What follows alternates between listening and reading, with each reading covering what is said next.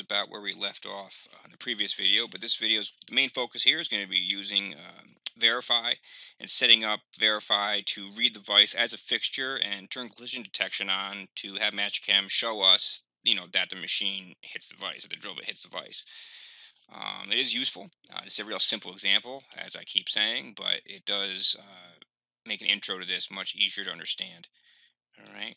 So what we need to do first all right, is go to the options for the simulator options. So there's an option to get there here, but it's also right here. So let's click this one and make sure that you have fixtures selected and that your levels 100, 101, 102, all the vice parts are on. You probably don't need the step job portion, but all the all the levels for the vice are on. Okay. Data, there's going to be nothing for us to change. Simulation, change your machine to just a three. It's going to default to a trunnion table. Just uh, change your machine to the three-axis VMC uh, to keep it simple. We'll hit green check. And then we're going to go to verify like we normally would. And now you'll see the vice come up. It will be green. Okay, here we are.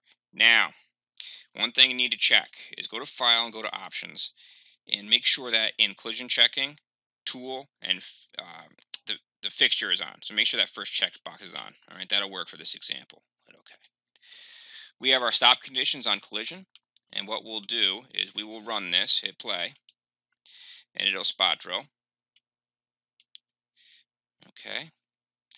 And we'll let it drill. Oh, a collision occurred. So it prompts us when something hit. Okay, useful. All right, that's in regular verify. So now what we'll do is let's go to mode and let's go to simulation. This will bring the machine tool in. Okay, give it a minute to get in there. And we'll move the machine around. Okay. And now we can see the vice on the table. The position was automatic, which is fine for what we're doing. There's only one vice. All right, and everything else is the same except for the machine is now there. And here's what's nice about this. If you hit play, and it'll spot drill, no big deal, change tools, then go to the drill, and you'll see when you hit, the whole thing will turn red. The tool and the vise, it'll show you what hit. Okay, and it'll stop.